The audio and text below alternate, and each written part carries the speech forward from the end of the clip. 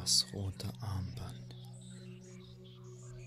Wenn du in ein Krankenhaus eingeliefert wirst, legen sie dir ein weißes Armband mit deinem Namen ans Handgelenk. Aber es gibt auch andersfarbige Armbänder, die andere Dinge symbolisieren.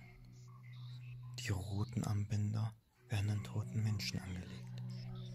Es gab einen Chirurgen, der in einer Nachtschicht in einem Schulkrankenhaus arbeitete. Er hatte gerade eine Operation beendet und war auf dem Weg nach unten in den Keller. Er betrat den Aufzug und es war nur eine weitere Person dort. Er plauderte beiläufig mit der Frau, während der Aufzug nach unten fuhr.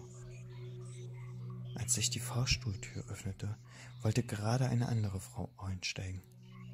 Als der Arzt den Schließknopf zuknallte und den Knopf zum obersten Stockwerk. Überrascht tadelte die Frau den Arzt für seine Unhöflichkeit und fragte, warum er die andere Frau nicht einstiegen ließ.